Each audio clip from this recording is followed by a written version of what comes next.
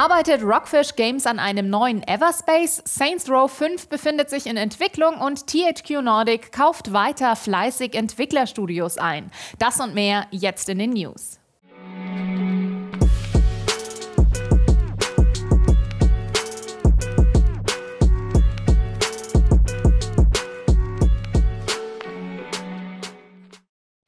Rockfish Games arbeitet an einem neuen Space Game, das im Rahmen der Opening Night live auf der Gamescom am 19. August vorgestellt werden soll. Noch ist nicht bekannt, wie das neue Spiel der Everspace-Macher heißen soll. Von offizieller Seite aus heißt es allerdings, dass man sich das Feedback zu Everspace sehr genau angesehen habe und ein Wunsch sei dabei deutlich geworden, eine offene Welt mit klassischen Rollenspielelementen im einzigartigen audiovisuellen Stil und der intensiven Action von Everspace.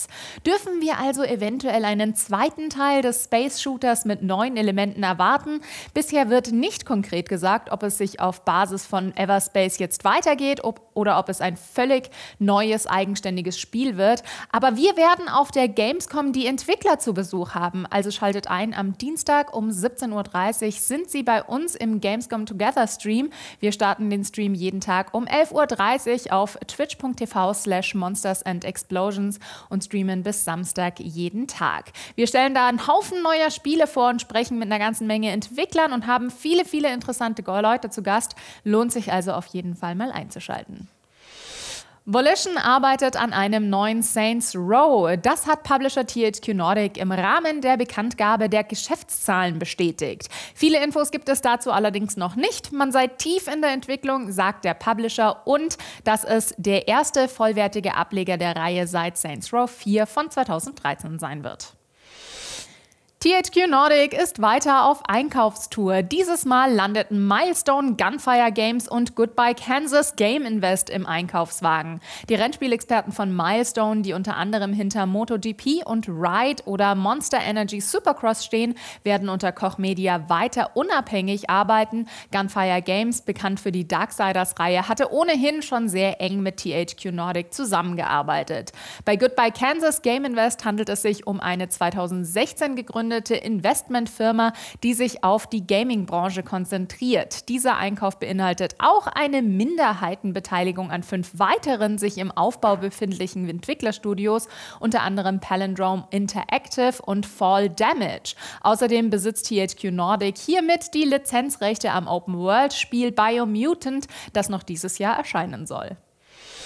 Manche Spieler sind begeistert, andere enttäuscht davon, wie viel oder wenig Leistung die Nintendo Switch bringt. Einige der zweiten Gruppe fragen sich vielleicht allerdings auch, bekomme ich vielleicht noch ein bisschen mehr aus der kleinen Konsole raus? So auch die Experten des YouTube-Kanals Digital Foundry. In einem Versuch haben sie die Switch übertaktet. Was genau das allerdings bedeutet und welchen Sinn es hat, erklärt euch jetzt aber in aller Kürze mein Kollege Hardware-Experte Nils. Overclocking bzw. das Übertakten von Hardware soll mehr Leistung ermöglichen. Wie der Name schon sagt, wird dazu die standardmäßige Taktrate erhöht, etwa vom Prozessor, der Grafikkarte oder dem Arbeitsspeicher. Auf dem PC gibt es dafür verschiedene Softwarelösungen, die auf den Konsolen in aller Regel fehlen. Im Falle der Nintendo Switch ist es aber unter bestimmten Voraussetzungen möglich, die Taktraten manuell zu erhöhen, wie Digital Foundry gezeigt hat. Genau genommen handelt es sich zwar nicht um Overclocking, weil Nvidias Tegra-Chip in der Switch von Nintendo von Haus aus mit niedrigeren Taktraten betrieben wird, als eigentlich für ihn vorgesehen sind. Dabei hat sich Nintendo aber natürlich was gedacht. Schließlich sinkt mit höheren Taktraten auch die Akkulaufzeit. Außerdem steigen die Temperaturen der Hardware, was die Lüfter lauter werden lässt und sich auch negativ auf die Langlebigkeit auswirken kann.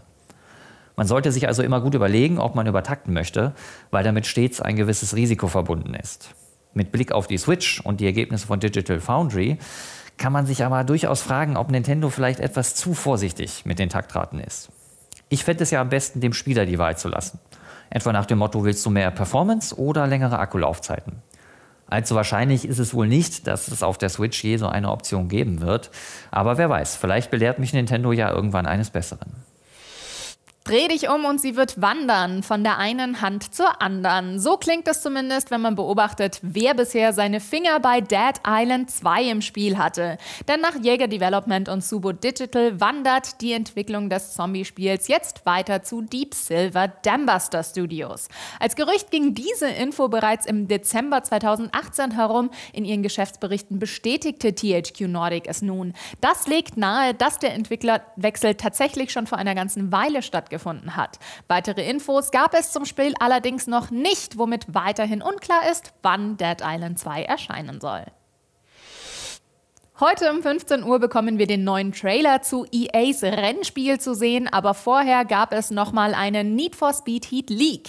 Auf Reddit sind angeblich weitere Details aufgetaucht, nachdem vor kurzem bereits der Name durchgesickert war. Der wurde übrigens nochmal durch eine Verlinkung einer Facebook-Seite quasi bestätigt, denn auch in der URL ist der Name Need for Speed Heat nochmal aufgetaucht.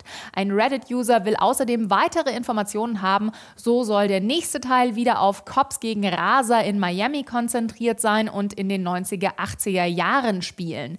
Die Protagonistin war früher eine sogenannte Runnerin, ehe sie die Seiten gewechselt hat und jetzt bei der Polizei arbeitet. Es soll eine offene Spielwelt geben, allerdings spielt man dem Leak zufolge nur nachts. Es soll allerdings unterschiedliche Wetterlagen geben. Außerdem scheint es ganz so, als würde EA auf die anhaltende Kritik reagieren. Der Leak behauptet, dass es keinen Online-Zwang und keinerlei Microtransactions geben geben wird. Was genau am Leak dran ist, werden wir dann wohl heute Nachmittag ab 15 Uhr erfahren.